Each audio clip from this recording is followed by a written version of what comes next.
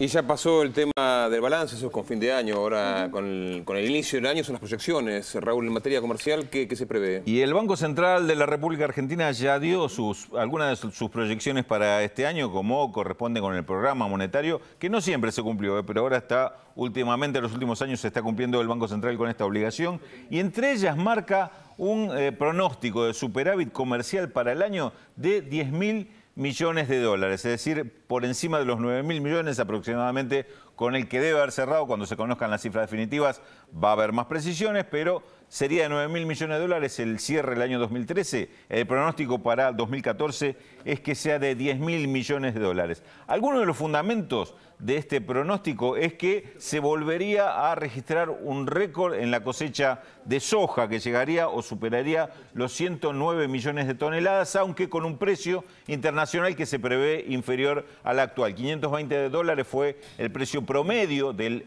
eh, año 2013, sí podría ubicarse unos 40 dólares por debajo, 480 dólares la tonelada, sin embargo, por eh, el aumento en eh, la oferta exportable igualmente daría un, resultado positivo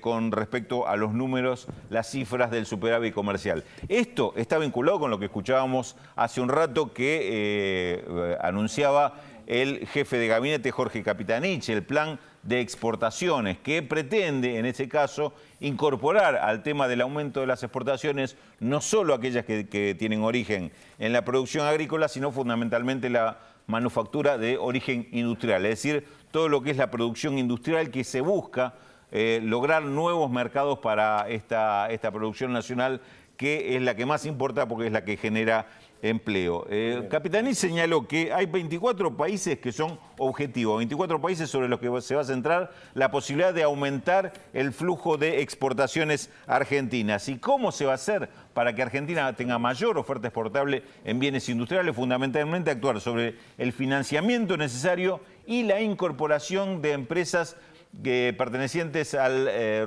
al ramo de pequeñas y medianas que tienen o muy poca participación en la exportación o todavía no exportan, a través de financiamiento para inversiones que posibiliten que esas empresas también se puedan incorporar al negocio de la venta al exterior. Una eh, clave de la política económica para este año, seguramente el tema de aumentar las exportaciones industriales. Gracias, Raúl.